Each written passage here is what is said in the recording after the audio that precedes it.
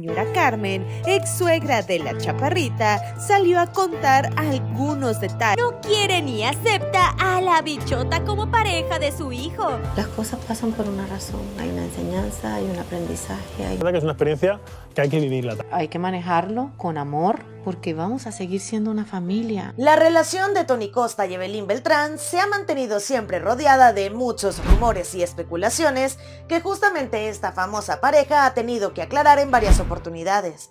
Y es que recordemos que desde que se inició los rumores del romance entre ellos, muchos han sido los comentarios que han salido a relucir sobre esta particular pareja. Incluso también se habló en su momento del tiempo que tuvieron que tener separados debido a que Tony Costa tuvo que ingresar a la famosa casa de los famosos. Pero ahora que ellos se encuentran nuevamente juntos, no se han logrado evitar los comentarios del público a su relación. Y es que recordemos que han sido muchas las opiniones divididas que tienen en torno a esta famosa relación, pues justamente muchas personas aseguran aseguran que Tony Costa le estuvo siendo infiel a Damari López con la famosa influencer colombiana. Sin embargo, Tony Costa y Evelyn se han hecho todos unos expertos en lidiar con los comentarios en su contra. Y en más de una ocasión ellos mismos se han dado la tarea de aclarar la situación, incluso respondiendo a estos comentarios a través de las redes sociales. Pero ahora un nuevo rumor ha salido a la luz y es que aparentemente la madre de Tony Costa no termina de aceptar a Evelyn Beltrán porque aseguran ella prefiere la relación de Tony Costa con Adamari López. Algo que tuvo que explicar entonces el famoso bailarín español y que lo hizo sentir bastante incómodo.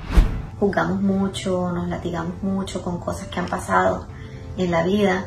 Recordemos que una vez que Adamari López y Tony Costa anunciaron la ruptura de su relación de más de 10 años, tiempo después el famoso bailarín estuvo iniciando su relación con Evelyn Beltrán.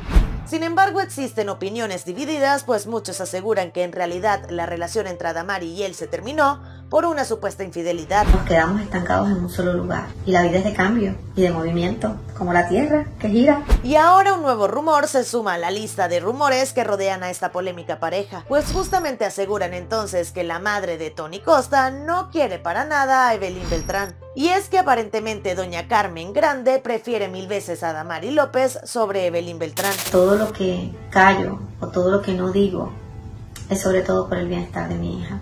Sin embargo, como cualquier tipo de famosos, no es la primera vez entonces que esta polémica pareja ha tenido que salir a dar la cara y aclarar el panorama sobre los rumores que se emiten sobre su relación. De hablar de algo que pueda irlos a ellos nuestros hijos deben ser nuestra prioridad.